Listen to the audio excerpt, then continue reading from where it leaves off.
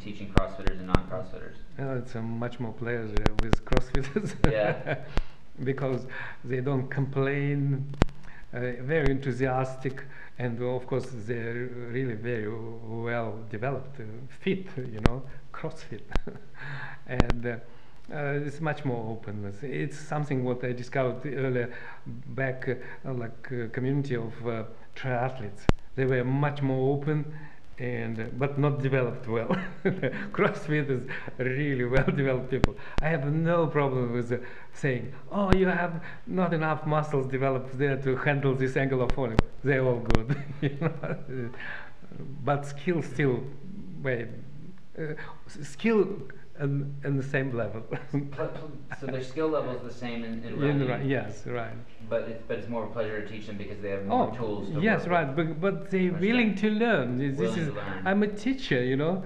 If a student come to you and start complain or start um, uh, um, question everything what you're telling me and telling my experience in running. What you experience? You ex- misery, not experience. there are non-stop injuries, pain through entire. Only some lucky one is uh, without injuries ended up, you know. And the guy who coming to me and telling 25 years of running, does it mean that you know how to run? Then explain me. And oh, obviously they fail immediately, you know. So you're coming with your ignorant uh, attitude to me, telling me that 25 years of bad driving means that you're a good driver. Obviously not. I see it by bad drivers who drive whole life Bad. bad. they have tremendous amount of tickets and so on. You know. I've heard people say that um, that, and this is I think hard for people to get a grasp that you can actually during a CrossFit workout, if you if, if there's running in the workout, if you Right. use the pose method, you can actually get some rest in. Uh, Is, it's uh, is there is there truth to that? Oh, it's, uh, it's not in physical sense, you know. It just release your muscular tension, you know, which you are uh, exposing on yourself during this uh, time of running, which you're not supposed to, you know. And it makes your performing much more vigorous, you know. This is what kind of sequence of uh, uh, things, you know.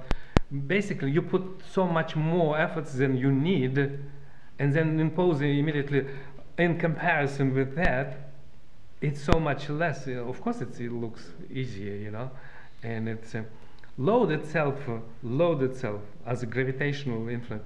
No more. Absolutely not.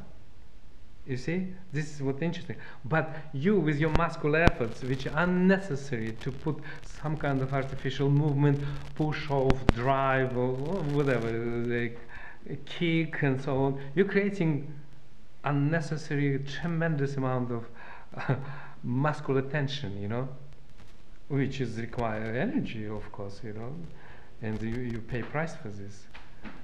You reduce these things and price goes down and you have no any problem. It looks much easier of course. And plus pain of course pain uh, when you produce these muscular efforts and you're creating in, in the joints um, and ligaments and tendons unnecessary uh, tension. Do you understand it will appear later on as a pain because you overloaded tissues which not supposed to be loaded uh, in this rate you know. They're supposed to load it but what gravity was designed. And you are designing on your load and it, it's basically it's a misusing of, of your own body. This is what problem